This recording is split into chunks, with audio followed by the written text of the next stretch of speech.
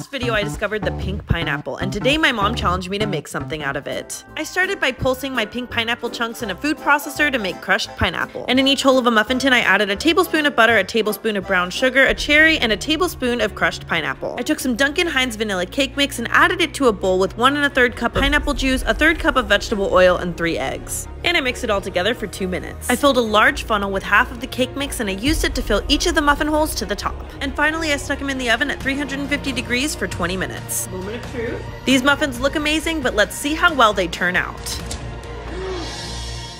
My attempt to make individual upside down pineapple cakes turned out to look like I should be on the show Nailed It. But presentation is really only half of it, so let's see how it tastes. So even though they looked weird, I'd say they deserve the Cassie dance.